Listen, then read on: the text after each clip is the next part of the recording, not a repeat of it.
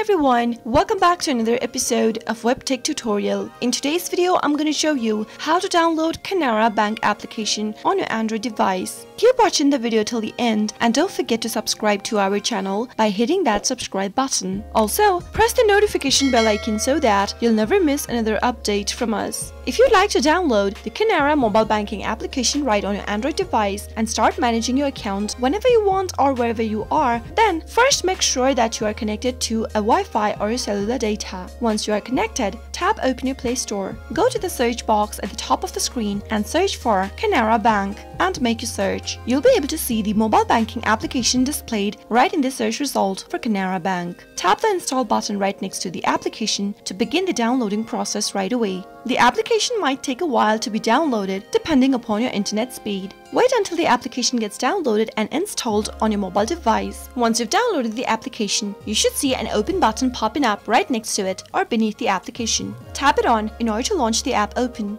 That is how you can easily download Canara mobile banking application right on your Android device, quick and easy. I hope the tutorial was helpful to you. If it was, go ahead and give us a thumbs up I'll be back soon with more tutorial videos like this. Thank you for watching.